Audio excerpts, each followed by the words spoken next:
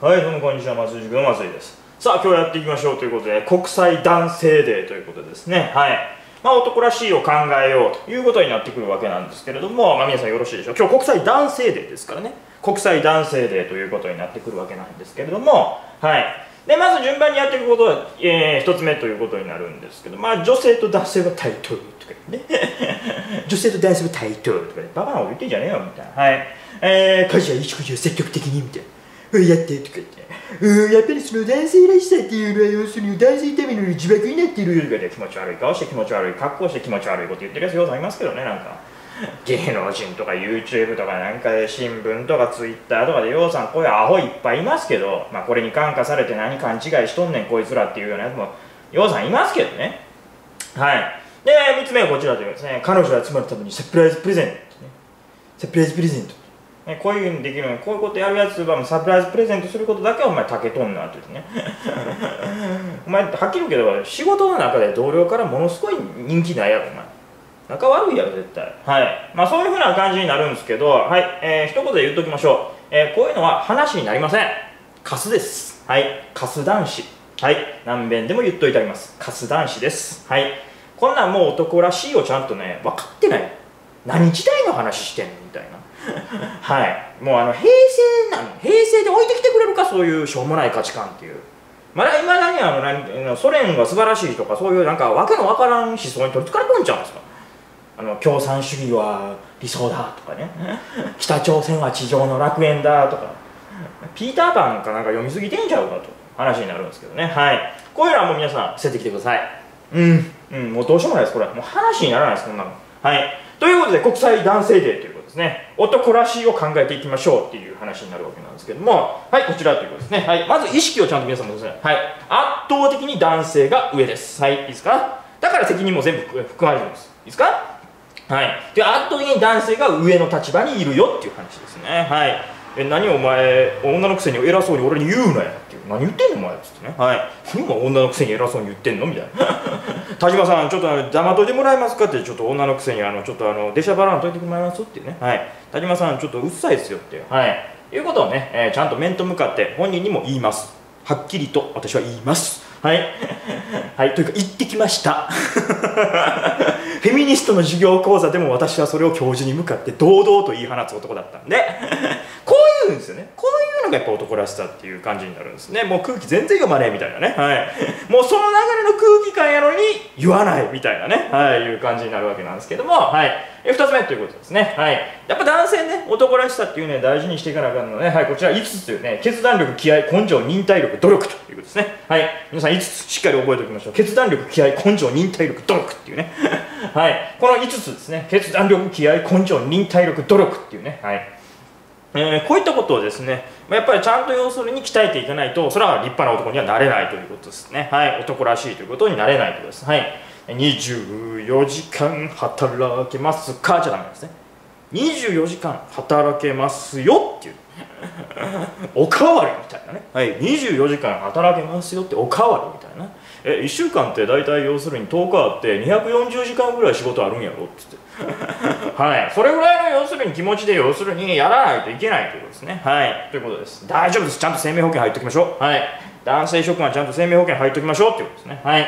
ということですね。はいこちら3つ目というね、えー、家事や育児は女がやるもんってね。こうビシッとねこうビシッとこうちゃんと。まあ僕家でゴロゴロしてるだけだからみたいな。はい。いう感じですね。はい。ということになるんです、まあ、こういうこと言うとねたまにね変な女の人予算来るんですよね。はい。じゃあなたのためになんか家事や育児したいと思いませんね。誰がやれると思ってんの？失礼なこと言うなよ。なんでお前ごときが今やれると思ってんの？お前。何勘違いしとんねんみたいなね。はい。俺がお前部屋の中にそれ入れるわけないやろお前みたいな女っていうね。はい。もうこうバシッとこう言うんですね。はい。あ何も言い返せませんので。大丈夫です。はい。お前いつからお前俺のお世話できる身分になってると思ってんねんってね。ちゃんと言ってあげてください。はい。でこれ4つ目からですね。これね女性の諸君皆さん覚えておいてくださいね。はい。あのー、ちょっと話したら大体伝わると思ってるんですよ。でこれあの女性は要するにちゃんと話してくれないのっていうふうに怒る方が多いんですけどそれ悪いのは君らやな。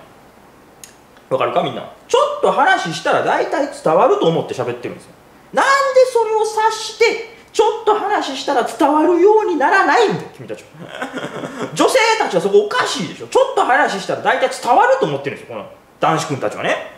立派な男子くんたちっていうか健全な男子くんたちは要するにあのー、ああやっていうか。何やったら話しなくても伝わると思ってる話しなくても伝わると思ってるんです。で皆さんよく考えてくださいね。ね。今まで要するにインターネットの世界でも 3G、4G、5G っていうふうになってるわけですよ。ね、3G、4G、5G っていうふうにですね。これ技術どんどんどんどん進歩していってるわけですよこれね。なんで女性たちはですねそれを要するに何世代も何世代も何世代も男性像を見てきてですね なんで男性って話したがらないんだろうっていうね何回やってんのお前ら気ぃつけよって話ですね。学習能力ありますかって話ですよ、はい、で男性君たちは学習能力ないでしょ皆さん。そんなこともわからないです。学習能力ないんで見てみろこれ。俺見て分かるも学習能力ありそうに見えるか。ないだろ？はい。直線一本勝負やん。前に進む以外のことを考えていませんみたいなね。はい。ことがこれだと思いますはい。そして5つ目と言って欧米では、ね、日本は遅れてると思うんですけどって。鼻膨らましてね。怒ってくる青洋さんいますよね。いやさんいますよね。アホみたいにね。それぐちゃぐちゃぐちゃぐちゃ言って、ね、大体テレビとか見ててお前気持ち悪いんじゃ大体ってねあの隣にいるやつとか言わないですかね。大体ねお前喋ってるけど気持ち悪いねんって一言バーンって言ってあげないといけないですよね。いや欧米では気持ち悪いってお前。顔も気持ち悪いし行動も気持ち悪いし手振り身振りも気持ち悪いやろって。なあって。それなんでテレビ出るか分かるかっつって。気持ち悪いが崖から落ちてるからやでお前みたいな気持ち悪い男性誰もおれへんやろって。そやからテレビ使ってんねん。なんでかっつったら面白いからあれ見てうわうわうわうわっつってみんなこいつ何言ってんやろとか言ってツイッターでボコボコボコボコ叩いてるやろ？みんな腹の中では笑ってるやろ？笑われとんねんあれ。な？はい。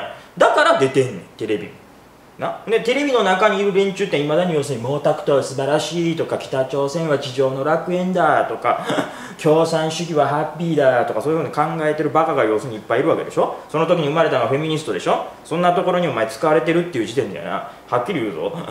やばいやつやなお前って言われてると一緒やろテレビに出てて要するにこれフェミニズム運動とかでこうあるべきなんですよねって言ってる時点で悪いけど共産主義者の出先感って何回ですか大体。はい。ということなのね。ここは共産主義国家ではないんですね。はい、で欧米みたいにポリコレであの頭おかしいやつ出てくるところとかね環境問題とかでねあのトマトケチャップソース大量にばらまき散らすとかなんで美術館やねんって話だし大体。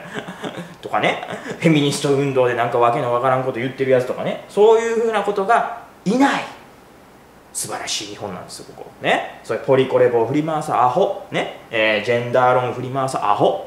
ね。環境問題でテロを起こすアホ。そんなんが大量にいるね。欧米君たちとね一緒にしないでくださいって。ね。僕は日本ですね。平和の国日本なわけです。ね。共産主義じゃないんです。はい。それが素晴らしいと思う方はどうぞ日本から出て行って邪魔ですっていうね。はい。君らいてもいなくてもえいない方がむしろ GDP 上がります。はい。ということです。じゃあ皆さん覚えておいてください。皆さんは新しい時代の男性をねしっかり見といてくださいね。これ皆さんは新しい時代の男性と。間違ってもこれね。これこっち見てこっちはい。こんなカスみたいな男にならないようにこれね。こんなカスみたいな。国際男性デーですから。はい。もう俺はもうこの国際男性デーこの男らしい男っていうのね日本から世界に向けて発信していきますよ。はい。もちろん誰に言われようが私はこれをどんどん発信していきますので。トランプ大統領が来ようがバイデン大統領が来ようがですね、まあ、ドゥテルテさんが来ようがこれも全部押し切っていきます私。はい。安心してください。日本の男らしい世界に広がっています。はい。それでは本日もご視聴いただきまして誠にありがとうございます